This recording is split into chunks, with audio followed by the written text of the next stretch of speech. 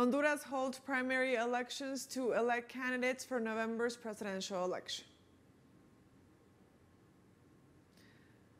Bolivians continue to rally against former interim president Janine Áñez. And German Chancellor Angela Merkel's party suffers heavy losses in two key regional elections. Hello and welcome to Telesur English. I am Estefania Bravo from the headquarters of Quito in Ecuador. This is from the south.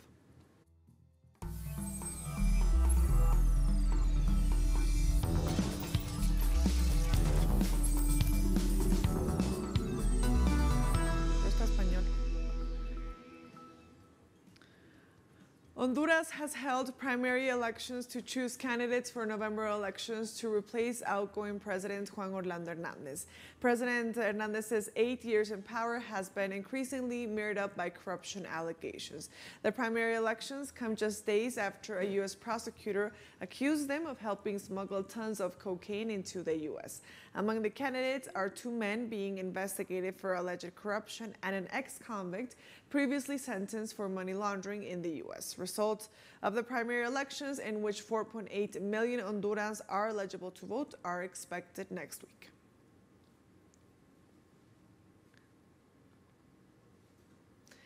And Bolivians have rallied outside the building of the country's special force for the fight against crime, where former interim president Janine Áñez is being held following her arrest.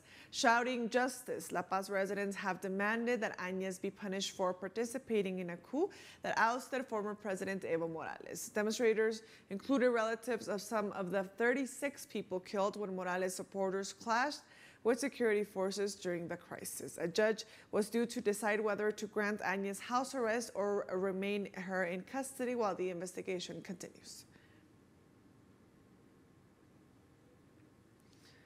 In Guatemala, relatives of the 16 migrants killed in Mexico have begun burying their loved ones. Family members and neighbors of Elfego Miranda Diaz accompanied his coffin through the streets of his, of his hometown and buried him on Saturday afternoon.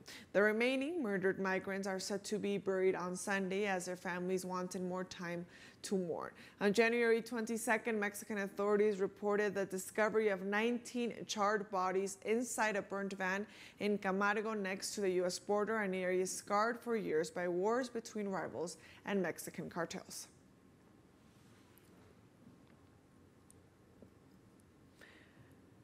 And Mexico has received the third shipment of the COVID 19 vaccines. A batch of 1 million Chinese Sinovac vaccines have arrived in Mexico on Saturday. The Mexican government has inoculated older adults in poor areas of the country as part of its vaccination campaign that began in December. According to authorities, with the arrival of these doses, there are already more than 6.4 million vaccines that have landed in the nation.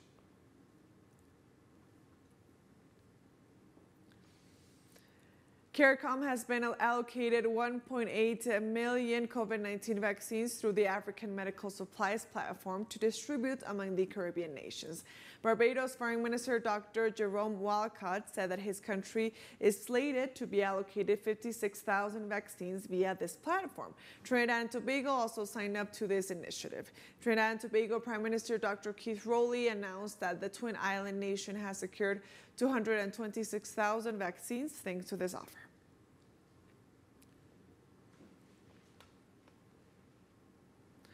Former Peruvian President Martin Vizcarra has claimed a foul play against his new candidacy for Congress after a prosecutor requested preventive prison for him.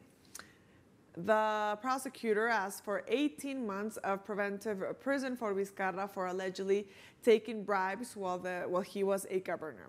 A court in Lima is set to analyze the request. The former president is being investigated for, for allegedly accepting bribes of around 619,000 US dollars that he received from two local construction companies while he was governor of the Moquegua region from 2011 to 2014.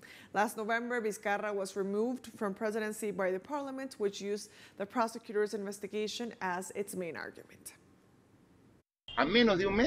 Less than a month before elections, Someone asks for preemptive prison against a candidate of a party, which is the first option for Congress. As you have seen in the polls, I have walked all Lima since March 1st, and we have received an enormous support by the population.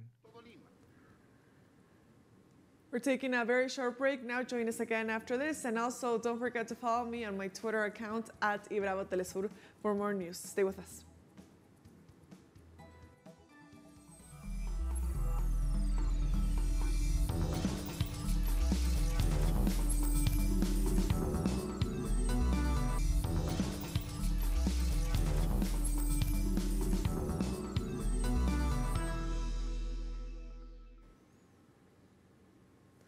Welcome back to From the South. More news now. People in the Central African Republic have gone to the polls to vote in the second round of the legislative elections. Most of the polling stations had short lines compared to the first round of voting held last December. The elections come as the country battles a rebel insurgency which officials described as an attempted coup.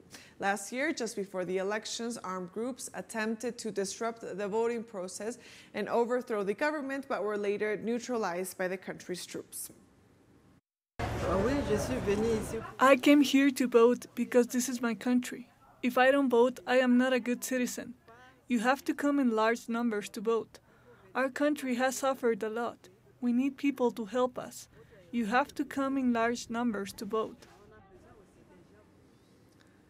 Chad President Idris Deby has called for unity ahead of the April presidential elections. Deby kicked off his campaign for a sixth term on Saturday, March 13th, calling for unity after rival protests were banned and broken up. The first rally since the start of the official election period on Thursday was held by Deby's Patriotic Salvation Movement at a packed stadium in the capital, N'Djamena. On Thursday, three opposition candidates quit the race ahead of the April 11th ballot, with one of them saying the climate was not good enough for fair and transparent presidential elections. Their withdrawal leaves half a dozen candidates, including Deby, who has ruled the country since 1990.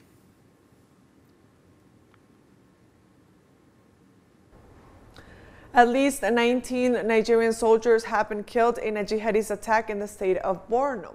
Nigerian security sources have reported that jihadist fighters ambushed a military convoy, killing 15 soldiers and four militia fighters. 13 soldiers have also been wounded in the attack. The convoy was on its way to Gudumbali for a military operation against the insurgents when it came under fire.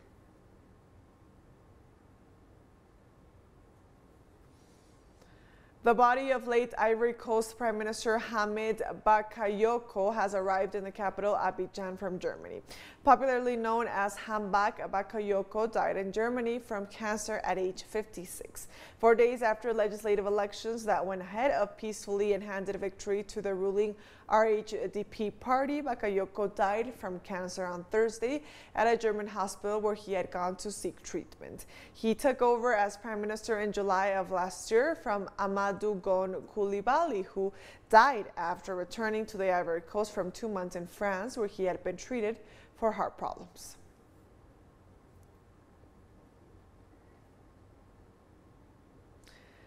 In Iraq, security forces have used hunting ammunition to disperse protesters demanding the resignation of a regional governor. Demonstrators blocked a highway in Najaf on Sunday and gathered on the main roads leading to regional governor Luai al-Yassiri's office at the governorate building.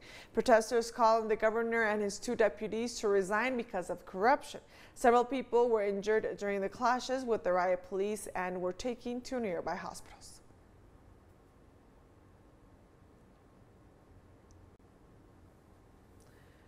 Myanmar's junta has declared martial law over two townships in its largest city, Yangon. The announcement comes after the area saw at least 15 killed in crackdowns by security forces against anti-coup protesters on Sunday. We demand the intervention of the army to cope with these repressive forces because they are using homemade hand grenades and hunting rifles. Now I have been shot by a hunting ammo. Despite military crackdowns, anti-coup demonstrators has pushed on with protesters as Myanmar neared its seventh week under military rule. Hundreds of protesters gathered in Insein Township to rebuild a barricade made of bricks and bamboo poles holding signs reading, We don't accept a military coup. The country has been in turmoil since the military ousted civilian leader Aung San Suu Kyi from power in a February 1st coup. Apart from daily civilian protests, a group of elected MPs, many of whom are in hiding, had also formed a shadow parliament to denounce the military regime. The junta security forces have staged daily crackdowns against demonstrators calling for a return to democracy, deploying tear gas, rubber bullets, and live rounds to quell anti-coup protesters who have, who have seen more than 70 killed. I saw the fallen heroes give their lives. I don't want to think that I'm afraid and I want to stay safe at home. I'm going out on the streets as a citizen as a woman, so I want to stand with justice and fairness. We have to fight for our future. I don't accept the military coup. At the moment, sometimes we are running and hiding from the violent crackdown. I was arrested once, but people came to help me escape from the security forces and I was released. We're taking one last short break now. Don't go away.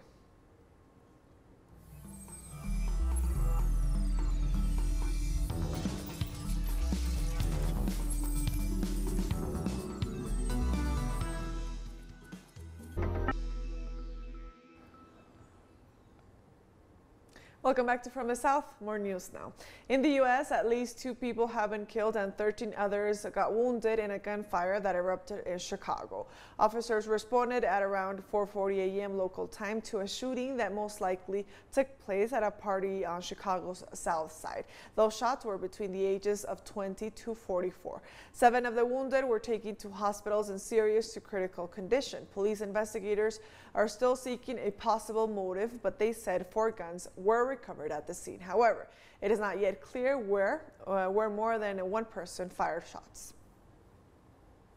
Uh, our detectives are continuing to uh, do their preliminary investigation and their interviews, but several of the uh, witnesses who were wounded are still in surgery and have yet to be interviewed. So more to come as far as uh, any kind of motive or any additional evidence. Uh, we are following up on several different leads that we are yet unable to confirm. In the U.S., hundreds of New Yorkers have taken to the streets to mark the one-year anniversary of the death of Breonna Taylor, a young black woman shot dead during a police raid. On a Saturday, Taylor's mother, Tamika Palmer, led hundreds marching behind a large purple banner with an illustration of Taylor's face chanting, No justice, no peace. On March 13, 2020, Breonna Taylor was shot and killed in her home by police officers who broke down on her door to serve a search warrant. Her death sparked protests across the country and became central to the racial reckoning last summer with demonstrators demanding racial equality and police accountability. It also renewed conversations about police brutality against black women who activists say are often overlooked and rarely get justice in their cases. Well, it's been a year since Breonna Taylor's death, and there's really no justice yet. And her death was really unnecessary. Um, her life needs to be valued, and it's important to be here and remind everyone that we haven't forgotten that justice still needs to be served. Especially as a white person, it's really important to stand up and have solidarity with the community and say, this is not right. I benefit from the privilege that I have, and I want to change that so that that kind of inequity doesn't exist. I know that if it was um, me in that apartment, I probably wouldn't have been shot and killed.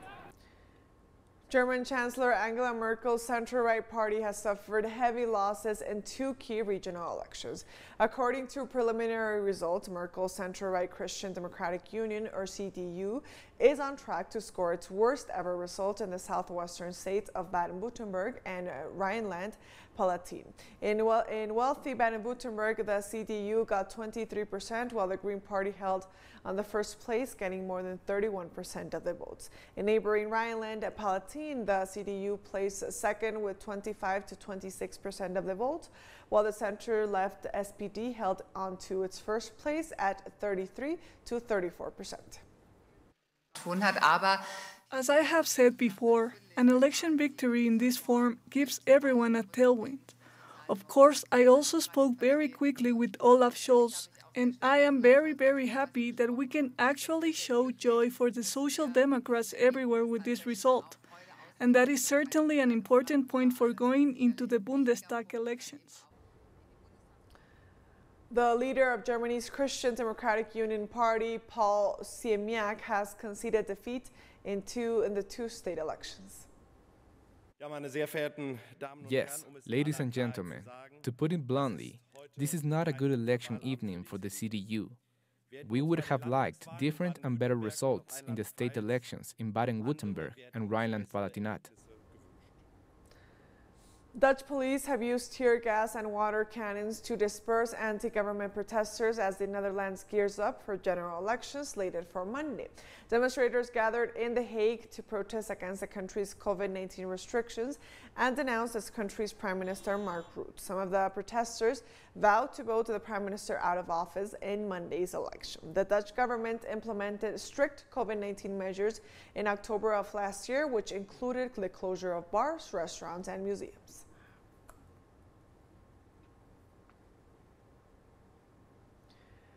Italy is facing a new wave of coronavirus infections and the government prepares to reinforce restri uh, restrictions in most of the country. Schools, restaurants and museums are expected to close from Monday in most regions after Italy recorded almost 26,000 new COVID-19 cases and another 373 deaths in the last 24 hours. Health authorities have agreed on new guidelines for the classification of red zones in which residents are urged to stay home except for emergencies, work, and health reasons. Starting on Monday, every region with more than 250 cases per 100,000 inhabitants will automatically be labeled as a red zone.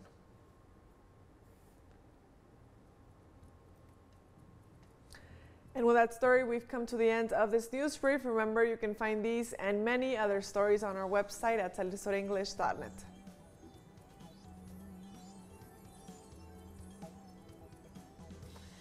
And don't forget to follow us on our social media accounts. We are on Facebook, on Twitter, and on Instagram as well. For Telesur English, I am Stefania Bravo. See you next time.